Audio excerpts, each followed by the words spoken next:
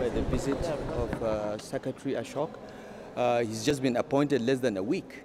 And his first assignment outside of the UK was to visit Nigeria and to visit Kaduna. We are greatly honored. Uh, we've been very, very uh, uh, well and strongly supported by the UK Department for International Development, for which he's now the Secretary of State. And uh, we, we, we, we, we've asked for more support. Uh, they have supported us in the area of education, the teacher development program, ESSPIN, and so on.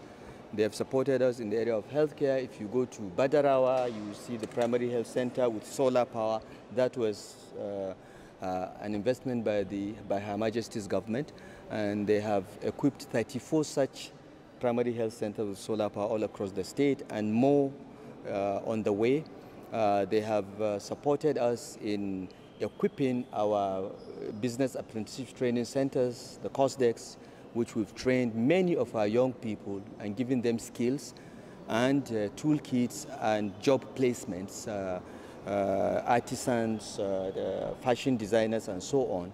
Uh, so the UK government has been helping us not only in the social sector, education and health, but also creating economic opportunities and jobs. Uh, which are all very important and interconnected, particularly for a state that has a very young population.